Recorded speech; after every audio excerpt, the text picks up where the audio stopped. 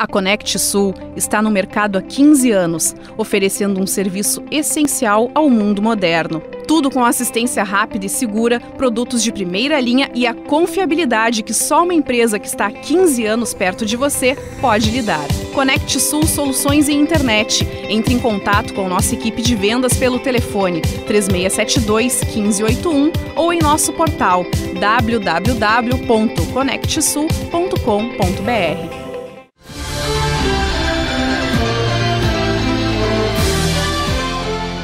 A Assembleia Legislativa aprovou na segunda-feira, 19 de dezembro, três dos 27 projetos que fazem parte do pacote de medidas do governo do Estado.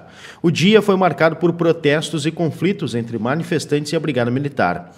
Três secretarias foram integradas a outras duas, sendo Cultura, integrada a Esporte e Lazer, e Justiça e Direitos Humanos, a Secretaria de Trabalho. A Agência Gaúcha de Desenvolvimento e Promoção do Investimento, a AGDI, passou a ser escritório de desenvolvimento de projetos e passa passa a ter como atribuição a elaboração e execução de projetos temporários do Estado.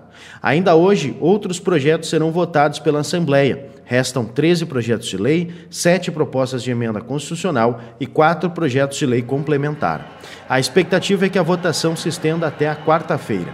Enquanto isso, servidores do Estado estão em vigília em frente à Assembleia manifestando sua contrariedade contra o pacote e a extinção de fundações importantes para a cultura e desenvolvimento do Estado. Nossa ideia é aprovar todo o pacote, nós entendemos que isso é fundamental para uma visão de Estado de futuro.